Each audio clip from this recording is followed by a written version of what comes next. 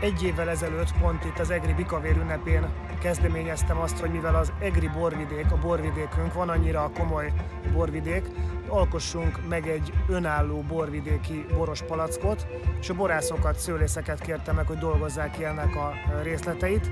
Ez meg is történt, és hát egy év alatt a palack az megszületett. Örömmel jelentem, hogy már 12 borászat, pincészet csatlakozott ehhez az önálló borvidéki boros palackhoz, tehát ősztől már az ő boraik a polcokon így jelennek meg, és több mint 200 ezer palackot gyártatott le eddig az EGRI borvidék. A mostani Bikavér ünnepen pedig kicsit azért így passzolva a palackhoz egy újabb kezdeményezéssel álltam elő.